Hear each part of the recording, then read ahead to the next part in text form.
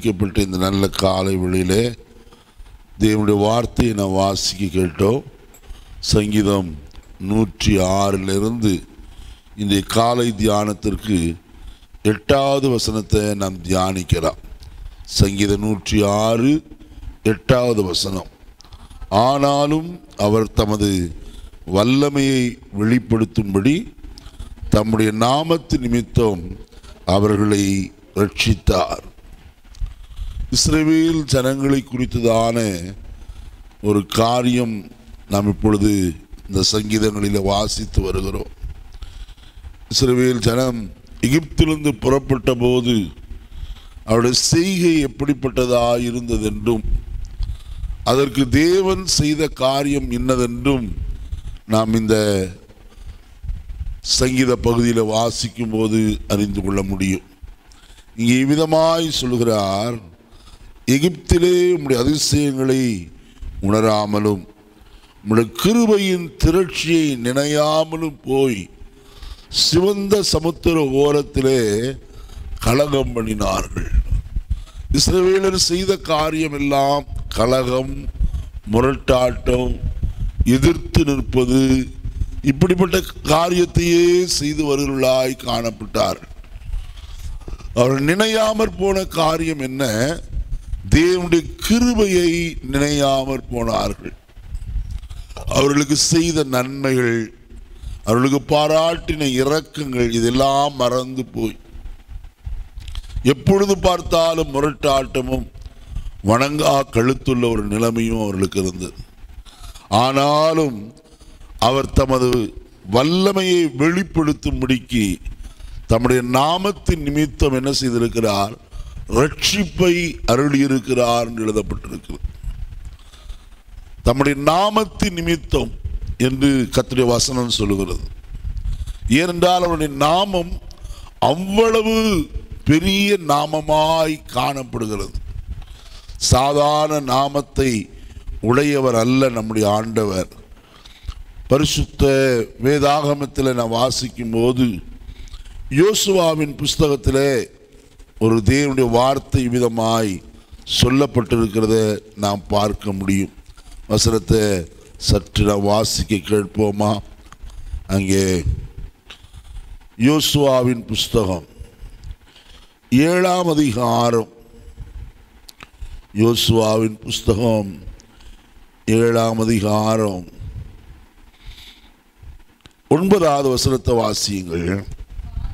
கானானியரும் தேசத்து குடிகள் யாவரும் இதை கேட்டு எங்களை வளைந்து கொண்டு எங்கள் பேரை பூமியில் இராதபடிக்கு வேறற்று போக பண்ணுவார்களே. அப்பொழுது உமது மகத்தான நாமத்துக்கு என்ன செய்வீர்? பாருங்கள் அவர்கள் எல்லாரும் எங்களை அழித்து போடுவார்களே. அப்பொழுது உம்முடைய மகத்தான நாமத்துக்கு நீர் என்ன செய்வீர்? நம்முடைய பாஷையில் சொல்லணுமானால் உம்முடைய பேர் கெட்டு போயிறியா எங்களை அழிச்சாங்கன்னா உம்முடைய நாமத்துக்கு தான் உம்முடைய பேருக்கு தான் என்ன வரும்? கெட்ட பேர் வரும். இன்னும் சொல்ல போனால் அவப்பெயர் உண்டாயிருக்கும். உம்முடைய நாமத்தை அவர்கள் தூஷிப்பார்களே. ஆனால் தேவன் தம்முடைய நாமத்தை ஒரு நாளும் பரிகாசம் பண்ண ஒட்டார் என்று எழுதப்பட்ட வார்த்தையின்படி தேவன் தம்முடைய நாமத்து நிமித்தம் அவர்களை ரட்சிப்புக்குள்ளே நடத்துகிறவராய் காணப்பட்டார். எத்தனையோ தரம் கோபப்படுத்தினார்கள். சங்கீதங்களில் வாசிக்க முடியும். எத்தனை தரமோ அவருக்கு கோபப்படுத்தினார்கள். ஆனாலும் கத்தர் தம்முடைய நாமத்து நிமித்தம் அவர்களை அழைத்ததினாலே அவர்களுக்கு ரட்சிப்பை உண்டு பண்ணுகிறவராயிருந்தார். சிவந்த சமுத்திரத்து ஓரத்தில் அவர்கள் செய்த காரியம் வனாந்திரத்தில் எங்களுக்கு பிரேத எகிப்திலே எங்களுக்கு பிரேத குழிகள் இல்லை என்றா இந்த இடத்திற்கு எங்களை என்ன செய்தீர்? கொண்டு வந்தீர். நாங்கள் அங்கே நிம்மதியாயிருந்தோமே. ஏன் எங்களை விதமாய் நடக்க பண்ணினீர்? அப்படி கலகம் பண்ணின போதிலும் கூட கத்தரவளுக்கு என்னத்தை கொடுத்தார்? ஜெயத்தை கொடுத்தார். எந்த பார்வோனின் சேனை அவர்களை துரத்தி கொண்டு வந்ததோ எந்த இடத்துல ரட்சிப்பு இல்லை எந்த இடத்துல இனி விடுதலை இல்லை? நீ அவ்வளவு தான் முழுவதும் அழிந்து போம் என்று சொல்லி எந்த இஸ்ரேல் ஜனங்கள் சொல்லி கொண்டிருந்தார்களோ அதே இடத்துல கத்தர் ஒரு ஜெயத்தை கொடுக்கிறவராய் வெற்றியை கொடுக்கிறவராய் காணப்பட்டார். செங்கடலை இரண்டாய் பிளந்தார். எல்லாரும் அக்கறைப்பட்டார்கள். பார்வோனுடைய சேனையும் பிரவேசித்தது. ஆனால் தேவன் பார்வோனி அவன் சேனையும் பார்த்து அவர் நகைக்கிறவராய் காணப்பட்டார். செய்த காரியம் அங்கே முற்றிலும் அவர்கள் எல்லாரும் அழிந்து போனார் என்று தேவனுடைய வார்த்தை சொல்கிறது இது செய்தது எதனாலே என்றால் அவர் தம்முடைய நாமத்தின் நிமித்தம் என்று எழுதப்பட்டது காரணம் அவருடைய நாமம் அவ்வளவு பெரியது என்று வேதம் சொல்கிறது கத்துடைய நாமம் பெரிய நாமம். எல்லா நாமத்திற்கும் மேலான ஒரு நாமம். பரிசுத்தமுள்ள நாமம் என்று வேதம் சொல்லுகிறதை நாம் பார்க்கிறோம். ரெண்டாவது காரியம் இருபத்தி மூன்றாம் சங்கீதம். இருபத்தி மூன்றாம் சங்கீதம்.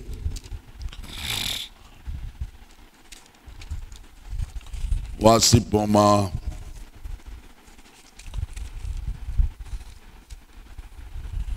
மூன்றாவது வசனம். அவர் என் ஆத்துமாவை தேற்றி தம்முடைய நாமத்தின் நிமித்தம் என்னை நீதியின் பாதைகளில் என்ன செய்கிறார்? நடத்துகிறார். அவருடைய நாமத்தின் நிமித்தம் ரட்சிப்பு மட்டுமல்ல விடுதலை மட்டுமல்ல ஜெயம் மட்டுமல்ல இங்கே மற்றொரு காரியம் உண்டாகிறது. என்னை அவர் நடத்தி கொண்டு போகிறார். இங்கே நீதியின் பாதையிலே அநியாயத்தின் பாதையில் இல்லை. இன்றைக்கு உலகத்தில் காணப்படுகிற மனுஷர் அநியாயம் செய்வதற்கு மற்றவர்களை இழுத்து கொண்டு போகிறார் வா என்னோடு கூட பங்காளி ஆயிரு நான் ஒருமித்து இந்த தீங்கை செய்வோம். இப்படிப்பட்டதான கூட்ட உலகத்தில் நிறைந்திருக்கிறது. ஆனால் ஆண்டவர் நம்மை நடத்துகிற விதம் வேறு. அவர் நம்மை செம்மையான வழியிலே நீதியின் பாதையிலே நடத்துகிறார். வேதத்தில் நான் வாசிப்போமானால் சாலமோ ஞானி சொல்கிறார் நீதியின் பாதையிலே என்ன உண்டு என்றால் ஜீவன் உண்டு. அந்த பாதை செம்மையான ஒரு பாதை அதில் ஜீவன் காணப்படுகிறது. நம்முடைய ஆண்டவராக இயேசு கிறிஸ்துவை குறித்து அப்போஸ் நாய பௌலடியார் சொல்லும்போது அங்கே ஒன்று குருந்தியர் முதலாம் அதிகாரம் கடைசி வசனத்தின் விதமாய் சொல்கிறார் அவரே தேவனால் நமக்கு நீதியும் மீட்பும் பரிசுத்தமும் ஆனார் என்று எழுதப்பட்டிருக்கு அவர் நீதி உள்ளவர். அவரிடத்தில் அநியாயம் என்பது இல்லவே இல்லை. ஆகையினால் தம்முடைய ஜனங்களை நீதியின் பாதையிலே அவர் நடத்துகிறவராய் காணப்படுகிறார். மூன்றாவது காரியம் பாருங்கள். இருபத்தி ஐந்தாம் சங்கீதம். பதினோராவது வசனத்தில் இப்படி நாம் பார்க்கிறோம். கர்த்தாவே நான் என் அக்கிரமம் பெரிது.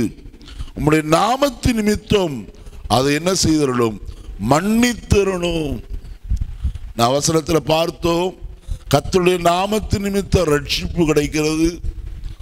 கத்தருடைய நாமத்து நிமித்தம் நீதியின் பாதையிலே நடத்துகிறார்.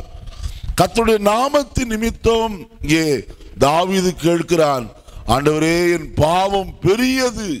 அதை நீர் என்ன செய்யும்? மன்னியும் ஆண்டவரே. அப்ப கத்தருடைய நாமத்தில் என்னவும் இருக்கிறது பாவ மன்னிப்பும் காணப்படுகிறது. அவராலே அல்லாமல் வேறு ஒருவராலும் என்ன இல்லை. பாவ மன்னிப்பு இல்லை. இயேசு கிறிஸ்துவின் நாமத்தினாலே தான் பாவ மன்னிப்பு உண்டாயிருக்கிறது என்று கர்த்தருடைய வேதம் திட்டவட்டமாய் நமக்கு போதிக்கிறது. வசனத்தில் நான் வாசிக்கலாம். அவராலே அன்றி வேறு ஒருவராலும் என்ன இல்லை. ரட்சிப்பு அல்லது பாவ மன்னிப்பு இல்லை. நாம் பாவ மன்னிப்படையும்படி அல்லது ரட்சிக்கப்படும்படி வானத்தின் கீழே மனுஷர்களுக்குள்ளே இயேசு கிறிஸ்துவின் நாமமே இல்லாமல் வேறே ஒரு நாமம் என்ன செய்யப்படவில்லை கட்டளையிடப்படவில்லை என்று எழுதப்பட்டிருக்கிறது. ஆகையால் அந்த மேலான நாமம் நம்முடைய பாவங்கள் எல்லாம் மன்னிக்கிறது. எப்பேற்பட்ட பாவத்தையும் எந்த பாவத்தையும் மன்னிக்க வல்லமை உள்ள நாமம் இயேசு கிறிஸ்துவின் நாமம். அந்த மரியால் குப்பி தைலத்தோடு கூட வந்தால் அங்கே அவருடைய பாதப்படியில் அமர்ந்து கண்ணீர் சிந்தினால் குப்பி தைலத்தை உடைத்து ஊற்றினால் தன்னுடைய காரியமெல்லாம் கத்துடைய சமூகத்தில் கண்ணீரினோடு கூட அவள் சிந்துகிறதை நாம் பார்க்கிறோம். வசனத்தில் நான் வாசிக்கிறோம். ஆண்டவர் அவளை பார்த்து சொன்னார் ஸ்திரியே உன் பாவங்கள் உனக்கு என்ன செய்யப்பட்டது? மன்னிக்கப்பட்டது. அவ மன்னிப்பு அவராலே நமக்கு உண்டு என்று வேதம் திட்டவட்டமாய் நமக்கு போதிக்கிறது. இன்னொரு வசனத்தை வாசிப்போமானால் முப்பத்தி ஓராம் அதிகாரம் மூன்றாவது வசனத்தை பார்ப்போம். என் கண்மலையும் என் கோட்டையும் நீரே உமது நாமத்து நிமித்தம் எனக்கு வழி காட்டி என்னை நடத்தியருளும். உம்முடைய நாமத்து நிமித்தம் எனக்கு என்ன செய்யும்? வழி காட்டும் ஆண்டவரே. அப்படியானால் இங்கே பக்தன் வழி அறியாதபடிக்கு காணப்படுகிறானா என்றுதான் ஒரு காரியம். அப்படிப்பட்ட ஒரு சூழ்நிலை போல தோன்றுகிறது. தனக்கு வழி தெரியாத ஒரு சூழ்நிலை. ஆனால் கத்தரை பார்த்து சொல்கிற ஆண்டவரே நீர் எனக்கு என்ன செய்யும்? வழி காட்டும் ஆண்டவரே. நான் எந்த வழியிலே நடக்க வேண்டும்? எந்த பாதையிலே நான் நடந்தால் நலமானது? கத்தரிடத்திலே கேட்டு விசாரித்து கத்தராலே நடத்தப்படும்படிக்கு அவன் விருப்பமுடையவனாய் காணப்படுகிறான். வசனத்தில் நான் வாசிக்கிறோம் இவ்விதமாக. சங்கீதம் முப்பத்தி ரெண்டு எட்டிலே வாசிக்கும் போது நான் உனக்கு போதித்து நீ நடக்க வேண்டிய வழியிலே என்ன செய்வேன்? உன்னை நடக்க வேண்டிய வழியிலே உன்னை என்ன செய்வேன் என்று சொல்கிறார்? நடத்துகிறவர். அங்கே வசனம் தெளிவாய் நமக்கு போதிக்கிறத பார்க்கிறோம் நான் உனக்கு போதித்து நீ நடக்க வேண்டிய வழியை உனக்கு காட்டுவேன். உன்மேல் கண்ணை வைத்து உனக்கு ஆலோசனை சொல்லுவேன். அப்ப கத்த நித்தமும் நம்மை நடத்துகிறவர் என்று வேதம் நமக்கு திட்டவட்டமாய் சொல்லப்படுது நித்தமும் நடத்துகிற ஒவ்வொரு நாளும் நம்மை நடத்தி நடத்துகிறவர். அவராலே நடத்தப்படுகிற ஒரு அனுபவம். வசனத்திலே நாம் வாசிப்போமானால் அப்போஸ்தலர் நடபடிகளின் புஸ்தகத்தில் பதினாறாம் அதிகாரத்தில் அப்போஸ்தலன் ஆகிய பவுலை குறித்து எழுதப்பட்டிருக்கிற வார்த்தை அங்கே ஆவியானவர் அந்த பட்டணத்திற்கு போகாதபடிக்கு என்ன செய்தார்? தடை செய்தார் என்று எழுதப்பட்டிருக்கு அதே சமயத்தில் அவர் ஆவியானவரால் என்ன செய்யப்பட்டிருக்கிறார்? வேறொரு பட்டணத்திற்கு நடத்தப்பட்டிருக்கிறார் என்று பார்க்கிறோம். ஆவியானவர் நம்மை நடத்தினால் எங்கே போக வேண்டுமோ அங்கே போக செய்வார். எங்கே போகக்கூடாதோ அங்கே போகாதபடிக்கு நமக்கு என்ன செய்கிறவர்? தடை உண்டாக்குறவர் அப்படியானால் ஒவ்வொரு நாளும் ஆவியானவரை பார்த்து ஆண்டவர் இன்றைக்கு நான் உம்மால் நடத்தப்பட எனக்கு உதவி செய். நான் எப்படி நடத்தப்பட வேண்டுமோ அப்படி எனக்கு ஆலோசனை சொல்லும் என்றால் அவர் தம்முடைய நாமத்தின் நிமித்தம் சரியாய் வழி காட்டி நடத்துகிறார். இது வழி. இதிலே நீங்கள் என்ன செய்யுங்கள்? நடவுங்கள் என்று சொல்கிற சத்தத்தை உங்கள் காதுகள் என்ன செய்யும்? கேட்கும் என்று எழுதப்பட்டிருக்கு. நீங்கள் வலதுபுறம் ஆயிலும் இடதுபுறம் ஆயிலும் சாயாமல் நேராய் நடக்கத்தக்கதாக வழிகாட்டுகிறவர் அவர். சாஸ்திரிகளை குறித்து நாம் பார்க்கிறோம். சாஸ்திரிகளுக்கு நட்சத்திரம் சரியாய் வழிகாட்டி கொண்டு வந்தது. அது கொட்டாரத்திற்குள்ளே போகவில்லை அரண்மனைக்குள்ளே போகவில்லை. அது வழிநடத்தி கொண்டுதான் வந்தது. ஆனால் இவர்கள் நினைத்ததோ ராஜா என்பவர் கொட்டாரத்தில் தானே பிறப்பார் அரண்மனையில். ஆகையால் அந்த அரண்மனைக்கு நேராய் கடந்து போனார். ஆனால் வெளியே வந்தபோது நட்சத்திரம் காத்திருந்தது. சரியாய் பிள்ளை இருக்கும் இடம் வரைக்கும் கொண்டு வந்து சேர்த்தது என்று எழுதப்பட்டிருக்கு அப்ப நம்மை சரியாய் தான் நடத்துகிறவர். நாம் தான் அநேக நேரத்தில் அவரால் நடத்தப்படுவதை விட்டு விட்டு நம்முடைய சுய யோசனையின்படி சொந்த விருப்பத்தின்படி நடக்க முயற்சி செய்கிறவர்களாய் காணப்படுகிறோம். அடுத்த காரியம் கத்திர வசனத்தில் நான் வாசிப்போமானால் நூற்றி ஆறாம் சங்கீதத்தில் வாசித்தோம் ரட்சிப்பு என்று சொல்லி. நூற்றி ஒன்பதாம் சங்கீதத்தில் வாசிப்போமானால் அங்கே வசனம் சொல்கிறது இருபத்தி ஓராவது வசனத்தில் ஆண்டவராய கர்த்தாவே நீர் உமது நாமத்து நிமித்தம் என்னை ஆதரித்து உம்முடைய கிருபை நலமானதினால் என்னை விடுவித்தருள். இங்கே வசனத்தில் சொல்கிறார் உமது நாமத்து நிமித்தம் என்னை என்ன செய்யும் ஆதரித்தருளும். ஆதரவு கிடைக்கும். அவர்தான் நம்மை ஆதரிக்கிறவர். திக்கற்ற பிள்ளைகளையும் விதவைகளையும் ஆதரிக்கிற கத்தர் அவர். அன்னவஸ்திரம் கொடுத்து அவர்களை ஆதரிக்கிற தேவனாய் அவர் காணப்படுகிறார். உலகம் நம்மை கைவிடும். உலகத்தால் நம்மை கைவிடுவார்கள். சகல மனுஷர் நம்மை கைவிடக்கூடும். ஆனால் கத்தர் ஒரு நாள் நம்மை கைவிடுகிறவர் அல்லவே அல்ல. அவர் கூப்பிடுகிற காக்கை குஞ்சுக்கே ஆகாரம் கொடுக்கிறவரானால் அதை பார்க்கிலும் தமது சாயலாய் நம்மை உண்டாக்கினாரே. அவருடைய சாயல் உருவாக்கப்பட்ட நம்முடைய வார்த்தைகளுக்கு சத்தத்துக்கு செவி கொடாமல் இருப்பாரா கடைசி அவருடைய சொல்லி முடிக்கிறேன். வசனத்தை வாசிப்போம். இசைக்கியல் தீர்க்க தரிசன புஸ்தகம். இருபதாம் அதிகாரம். ஒன்பதாம் வசனத்தை வாசிப்போம். ஆகிலும் நான் இவர்களுக்கு வெளிப்படுத்தி இவர்களுக்கு முன்பாக என் நாமம் பரிசுத்த குலைச்சலாகாதபடிக்கு இவர்களை எகிப்து தேசத்திலிருந்து புறப்பட பண்ணி என் நாமத்து நிமித்தம் இவர்களுக்கு என்ன செய்தேன்? கிருபை செய்தேன். இரக்கம் காட்டினேன். எங்கிருந்து எகிப்து தேசத்திலிருந்து புறப்பட பண்ணி நாற்பது ஆண்டு காலமும் வனாந்திரத்தில் நான் அவர்களுக்கு இரக்கம் காட்டினேன். என்ன தேவையோ அதெல்லாம் சந்தித்தது. கத்த தம்முடைய கிருபையை அவர்களுக்கு விளங்க பண்ணுகிறவராய் காணப்பட்டார். இந்த காலை வெளியில் நம்முடைய வாழ்க்கையில் அவர் தம்முடைய நாமத்து நிமித்தம் செய்கிற காரியம் பாவ மன்னிப்பு ரட்சிப்பு நித்தமும் நடத்துவது நீதியின் பாதிலே நடத்துகிறார். மாத்திரமல்ல அவர் நமக்கு கிருபை செய்கிறவராய் காணப்படுகிறார்.